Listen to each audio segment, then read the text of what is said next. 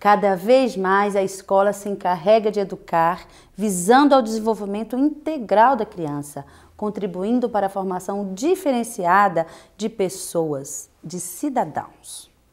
E nós, professores, precisamos estar convictos de que a nossa função não é apenas a de ensinar português, matemática, ciências, geografia ou história para nossos alunos. É nosso dever prepará-los para a vida,